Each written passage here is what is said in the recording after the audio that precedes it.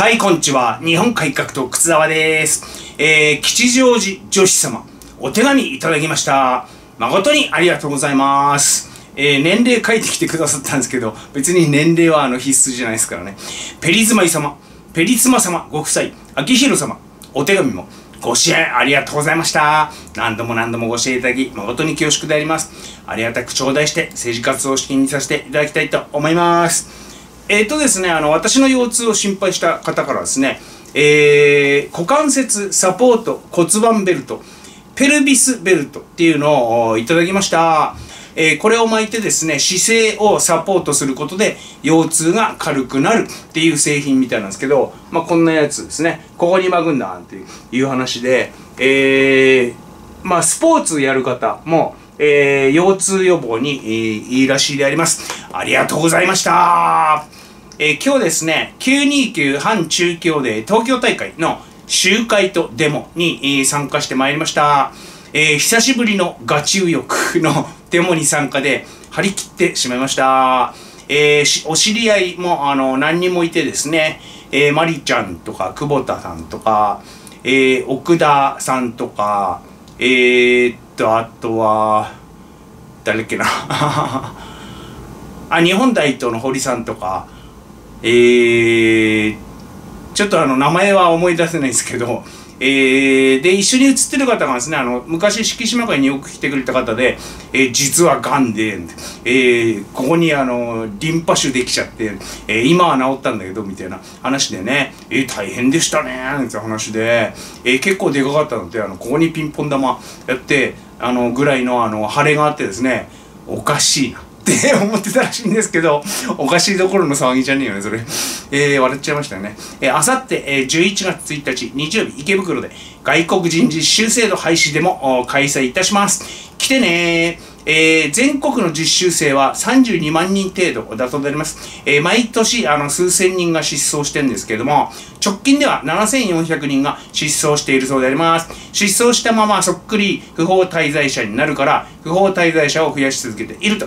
なんで2%も失踪するのか、えー、嫌になるような仕事させてるからではないか。逃げたくなるようなことをやってるからじゃないか。えー、初めからですね、あの、不法滞在を決めるっていう気だったらですね、もっと手軽なあの観光ビザで来日してもいいもんね。えー、実習先が逃げ出したくなるようなことさせているから。えー、例えば労働の強度の割に低賃金であるとか、え、農家のじいさんが風呂覗くとか、えこれ実際にあったみたいであります。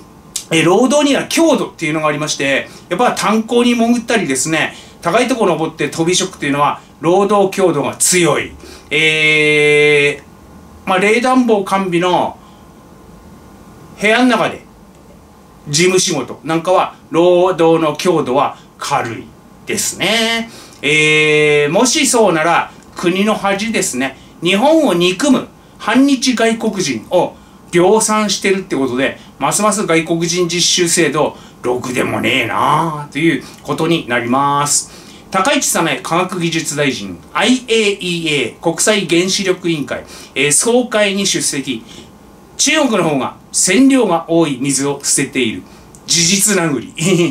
事実ハラスメントっていうんですか、えー、を披露であります。世論です。ああ言っちゃった。もっと言ったら言ったら。近平顔真っ赤、えー、これずっと言ってればいいと思うよ。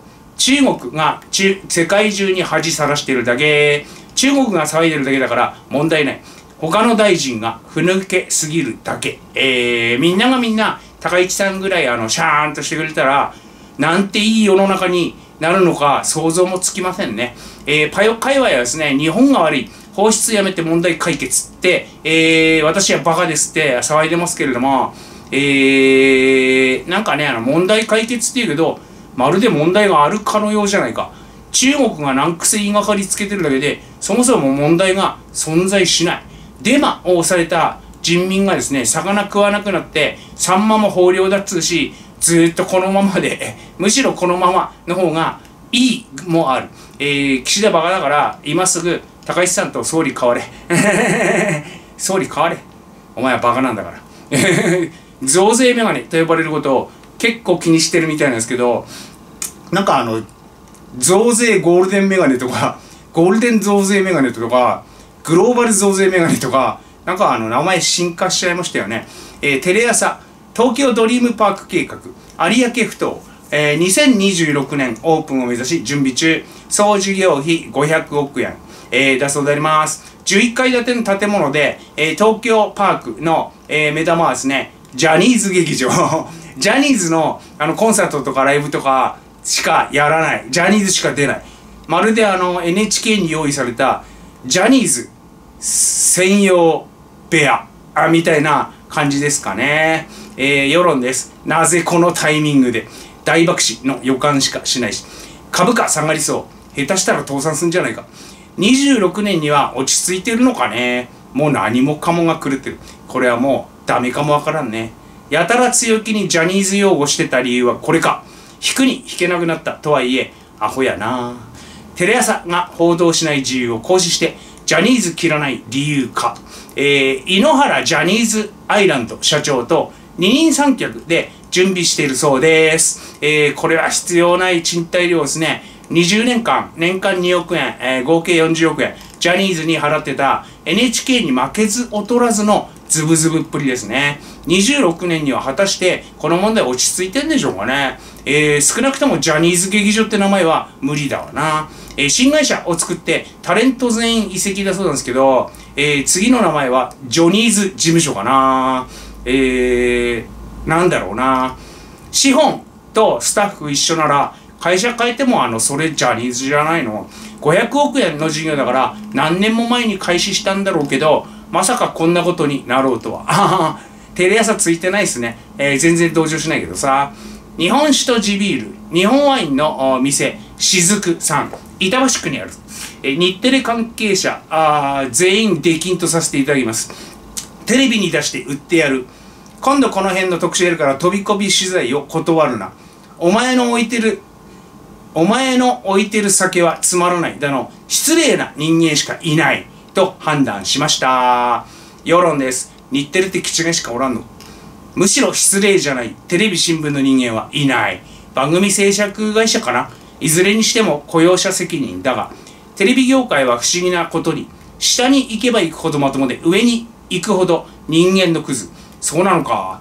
業界が落ち目なのが分かってないのか。まあ傲慢ですよね。えー、それはテレビなんか想定するわ。こんなんだからゴミって言われるんですよね、ゴミってね。えー、内容からですね、あの制作会社のチンピラがロケの根回しに来たと思われるんですけれども、宣伝してやっからって、暗に金品を求めたのかもしんないですね。あるいは、あの、飲食代タダにしろみたいなね。で、あの、もらえなかったから、酒がつまらないと開き直り。日テレ名乗って看板書ってこう言ってんだから、まあ日テレのあの、全体に責任があるのは当然ですね。えー、一人のやらかしだってあの、クレームは会社の窓口行くんだからね。店が属性で来店拒否するのは自由だし、こういう人はダメです。自由。言ってもあの、日テレ社員って言わなきゃいいだけ。失礼なことをしなきゃいいだけで全く問題ないですね。中小企業調査。人手が現在不足している68%過去最高まあこれ主観ですから、えー、多少のあのー、ちょっと足りないだけなのにヒーヒー言ってるのかもしれないですけど人手不足で事業継続が深刻。64%過去最高、えー、6割以上がやばい人手不足ってことですかね。世論です。賃金が少ないから給料上げれば即解決。会社が潰れても給料上げたくないメンタル。人手不足ってことは過剰に仕事を取ってきたってことで同情しない。正確には仕事できる人不足。より好みしてんじゃないのか。えー、給料上げれば大抵のことは解決ですね。人手不足っていうことは抱えきれない、さばききれない仕事を取ってきたってことで自業自得じゃないのこれ。えー、NHK のとある部署でバイト募集したら70代の応募しかなかったを思い出します。人手不足ってあの答えた会社はイメージ悪いんじゃないですかね。御社のイメージが。それともあの小さすぎてイメージがないとか知名度ゼロとか、えー、給料上げるぐらいなら倒産を選ぶ。本末転倒もいいとこですね。有能社員はあの代わりは多くないですけど、バカ社長の代わりはいくらでもいるんで、そういう会社はいっぺん倒産した方が世のため人のためじゃないか。えー、新宿在住の11歳から49歳の4人家族。埼玉県の公園で採取した天狗竹、えー、炒めて食べて、さくらんぼと。天狗竹とは気がつかなかった。などと供述が。さくらんぼと。あー、笑った笑った。え世論です。なんでこんなバカなの？桜ってどんな感じ？拾うなよ。食うなよ。取ったキノコを平気で食うやつは、知能に問題があると思う。公園で見つけたキノコを取って食いたいっていう発想は普通じゃない。家族で公園で取ったキノコ食うとか、頭おかしい。頭おかしい。